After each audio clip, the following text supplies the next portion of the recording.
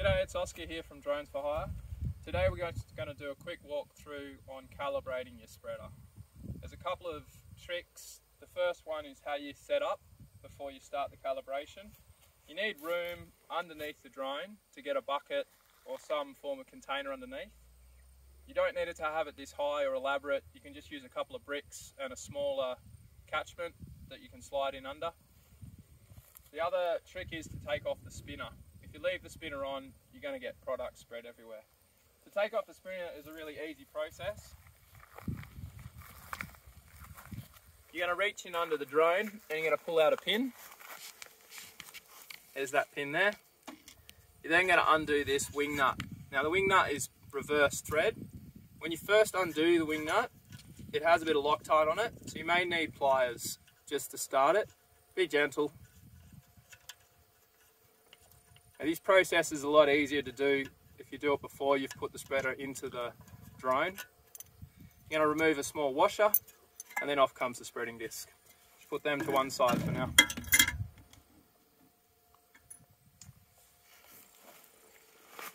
We've already put some products into the spreader today. So now all we need to do is run the calibration. So on the remote, you're going to go into begin. You're going to move to the settings in the top right hand corner. Scroll down to the spreading systems settings. Before you begin, when your tank is empty, you want to tare your calibration. We've already done a tare of calibration today. It's a very easy process in the remote. Just click tare calibration, click yes, yes, and away you go. You're then going to go back up to material management, click on that, you can see here on the remote that we've got three matrix already in there. We're going to add a new one in the top left. We're going to select our hopper size and we're going to stick hit start calibration. That's the calibration process starting now. Now you'll see that the flow rate will increase in grades over time and the T40 is creating a graph which represents how fast the product's moving out depending on the opening of the gate. DJI recommends that you fill the hopper right up. We found for most applications you don't need to completely fill it up. This one will actually stop halfway through and we'll show you how you can just take the product that's already gone through, put it back in the top and keep going. Saves you putting in too much material at once. Okay, so the remote's just given me a, an indication that the payload's getting too low. So now all we're going to do is just take what's been taken through the drone and put it back in the top. Fairly easy process.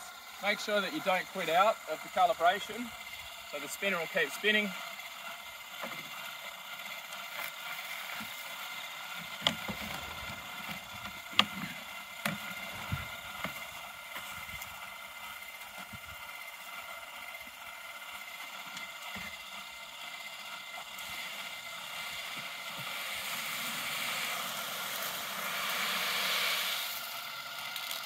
Add your product back in.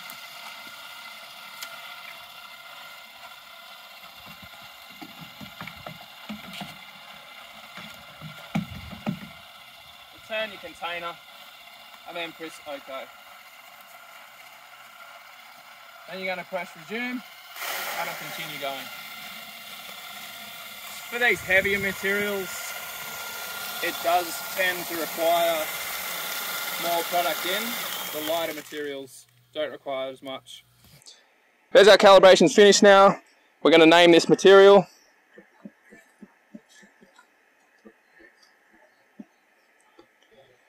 Click save. And now you can see on the remote that we've got a new material added, starter 15 in the top left hand corner. So that's it, how we calibrate the spreader on the T40. Very easy process, follow the prompts and just make sure that you get your setup in a nice stable position and you've got that bucket underneath with the spinner off.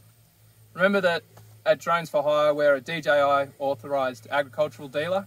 We have a team of farmers, contractors and drone experts ready to help you and part of our service is we provide a setup day when you buy a, an agricultural drone.